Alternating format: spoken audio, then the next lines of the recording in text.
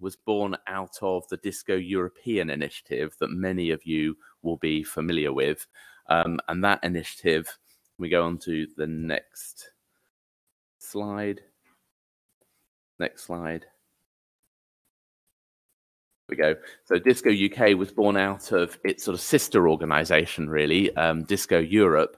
That is an organization that um, aims to digitally unify the breadth of the sort of 150, 170 museums across uh, Europe which have large natural science collections, and really tries to think very hard about what it would mean to create one virtual museum for those. Um, now, one thing that DiSSCo Europe isn't doing is funding the actual digitization of, of those collections. And that's something, next slide, please, um, that we've been doing rather a lot of at Natural History Museum London. So we've been building workflows to digitize our collections for a very long time now. We're about 5.6 million specimens in. We typically digitize about 400,000 specimens a year. That's a lot of work, as you could imagine. Um, we obviously invest quite a bit in the infrastructure needed to support um, that data and the various pipelines for that data, including some quite innovative techniques, some of which actually I'll be talking about in another session tomorrow. Um, to extract that information and get that into our systems. Um, and also, we spend a lot of time tracking the impact of all that data. And those impact stories are absolutely critical to our business case as to why we need to do this and also why we need to do this at a national level. Next slide, please. So, what is DiSSCo UK? Well, it's a partnership of 90 institutions across the UK um, uh, aiming to really deliver a step change in how we digitize our collections, which is happening in a very fragmented way across the UK at the moment. And the aim is to provide unprecedented access to those collections um, and really unlock the scientific, the economical, the societal benefits of those collections by providing digital access to them. Next slide, please. Um, so this work really kicked off in earnest with a couple of surveys that we did back in 2021.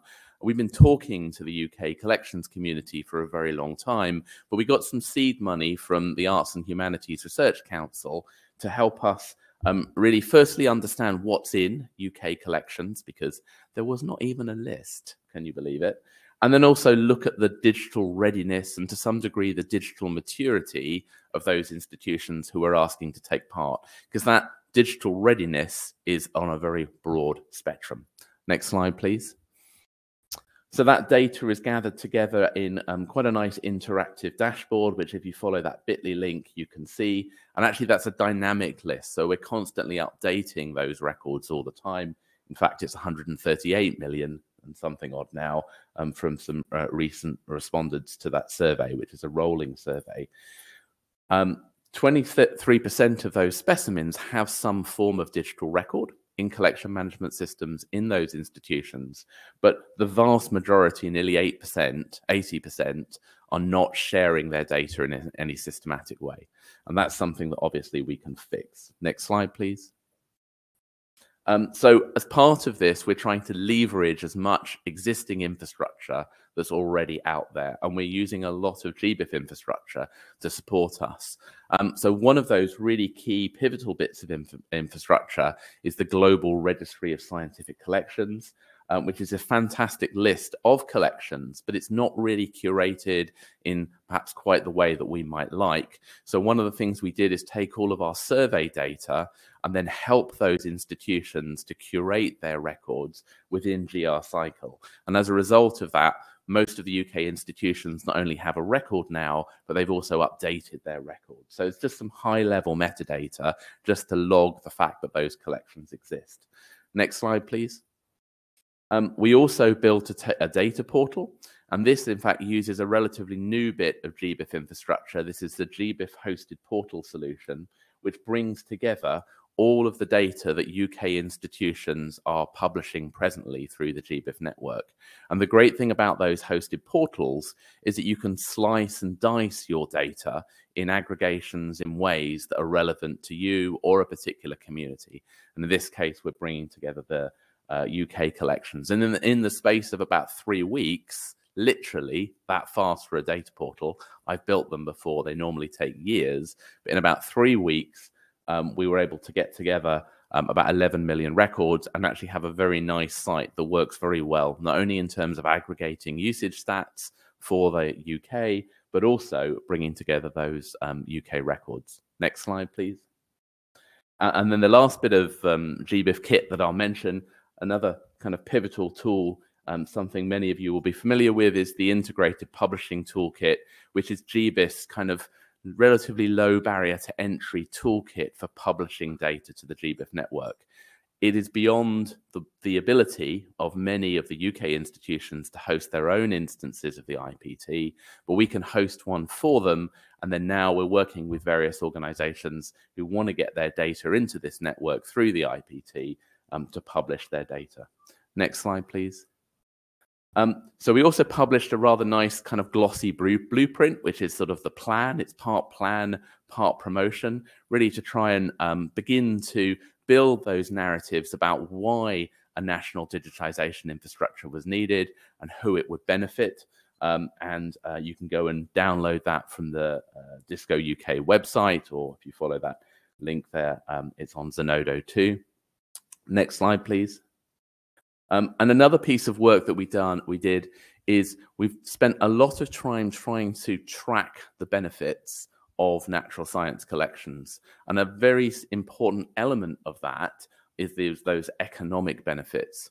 So this is actually some work that's about a couple of years old now, but working with a consultancy group called Frontier Economics, we used a theory of change methodology in various different business sectors where we know they're using our collections and basically trying to track the sort of what if stories. Had we digitized those and kind of scaling up their existing use, what would be the economic benefit? And the bottom line is about 30, uh, about two billion um, pounds of economic impact just in those sectors alone, in really what is actually quite a narrow survey.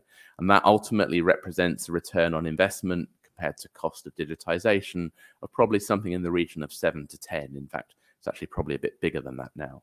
But that's a very important part of that story, that business case about why um, uh, how, why you need to digitize and what are the economic benefits critical for funders. Next slide, please. Um, we've also just finished a piece of work actually with McKinsey. Again, if you follow that link, you'll get to a, a, recent paper that was published in Rio, looking more at the sort of demand and benefits of UK collections from a user perspective. Um, some really nice little stats uh, came from that piece of work. One that I particularly like. So if you look at UK collections as a whole, they're cited in about 12% of all publications using GBIF mediated data. And yet UK collections constitute out of the total of those records just 0.3% of all those records. So in other words, those collections are punching above their weight by about 40 times, which is actually really important message again to get get across to funders. Um, and we can also do things like start to track savings from physically having to visit museums. And also, um, we spend a lot of time tracking, again, using GBIF tools, um, uh, the publications that cite uh, UK collections data to, which is really critical. Next slide, please. Um, how are we proposing to organize all this? So we have a sort of hub and spoke structure where there are 12 major collections across the UK being coordinated by um, uh, the NHM, and then lots and lots of small local collections, often with really important collections, but working regionally and sort of opting in because it's a big ask for some of those small institutions to um, jump up uh, uh, and do this. And so they'll be working closely with those regional collections and Natural History Museum London as the coordinating body. Next slide, please. So, uh, just in August, which feels to me like a very long time away, but I appreciate it wasn't, we submitted a national infrastructure digitization bid to something called the um, Infrastructure Advisory Committee. And this is the group that, to some degree, charts and plans the UK research infrastructure roadmap, at least the science elements of the roadmap. Um, that proposal is currently in review.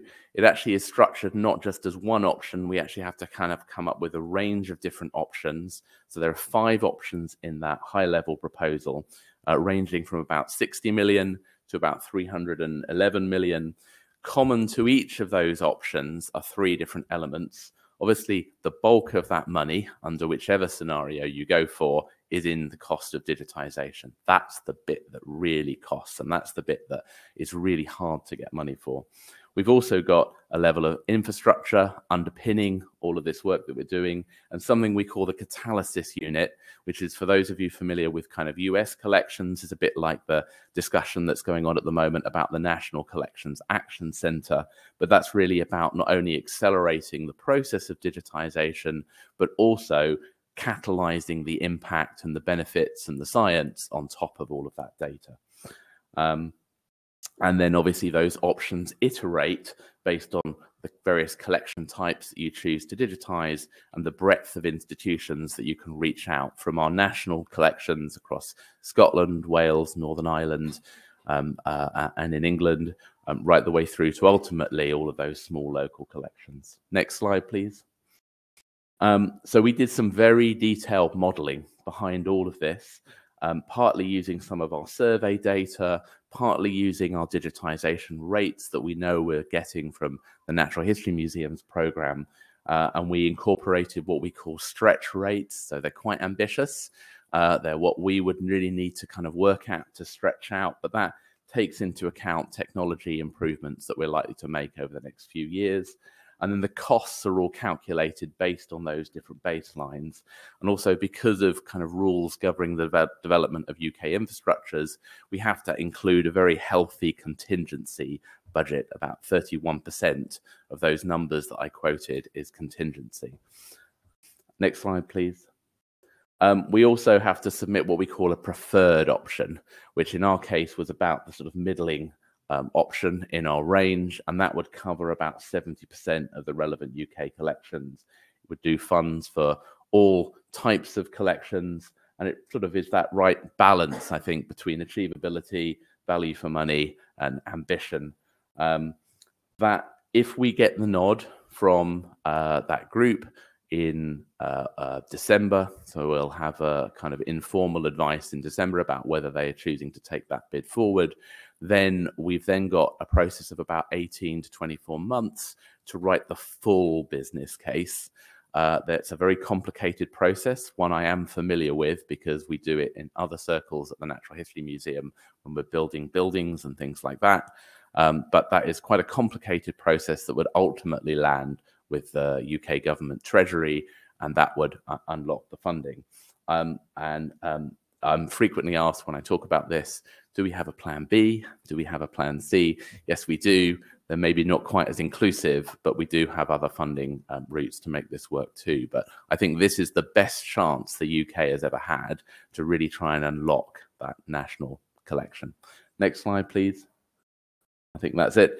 Um, just to acknowledge a few of my colleagues on the DiSSCo UK team. So Helen Hardy, my deputy, um, is now the program manager for DiSSCo UK, and also picking out um, Tara Wainwright, who's our kind of coordinator within DiSSCo UK. A lot of work goes into building these um, big infrastructure business cases. It's quite a team effort. So, big thanks to them, and thank you very much.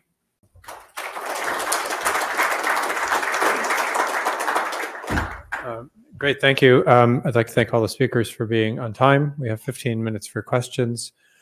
Uh, I have to say that I don't have the microphone. Do we have the microphone in the room? Thank you. Um, and I'll start while the microphone is coming up by asking Catherine a question. And she's going to have the microphone. Um, so Catherine was the only one who talked about a resource which is just starting out. So can you tell us what are your plans for long-term sustainability? Thank you. um, well, we have made an application for funding. Um, as yet, we we're still waiting for a response. Um, but one of our major partners is Bioplatforms Australia and the Australian Biocommons. Um, and so far, they like what we're doing. And so there is a lot of interest in continuing to partner with the Atlas of Living Australia on that. Um, but I think our main notion or concept about it is that we're, we're stronger when we're, you know, it's a cliche, but we're stronger together. And, and, um,